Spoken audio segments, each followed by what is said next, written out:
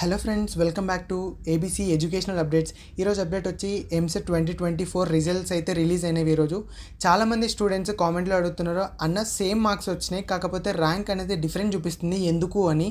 ఎందుకంటే మీరు కనుక మన ఛానల్ని ఫస్ట్ టైం విజిట్ చేసినట్టయితే ఈ వీడియోని అందరికీ షేర్ చేయండి మీ ఫ్రెండ్స్కి అదేవిధంగా ఛానల్ని సబ్స్క్రైబ్ చేయండి. రీజన్ ఏంటంటే ఐపీఈ వెయిటేజ్ ఇంకొకటి నార్మలైజేషన్ ప్రాసెస్ ఇంకొకటి క్యాస్ట్ కేటగిరీ వైజ్గా ఇవన్నీ చాలా ప్రాసెసెస్ ఉంటాయి. ఇవన్నీ నార్మలైజ్ చేసిన తర్వాత మీ ర్యాంక్ అనేది వస్తుంది. దానివల్ల మీకు ర్యాంక్ డిఫరెన్స్ చూపిస్తుంది.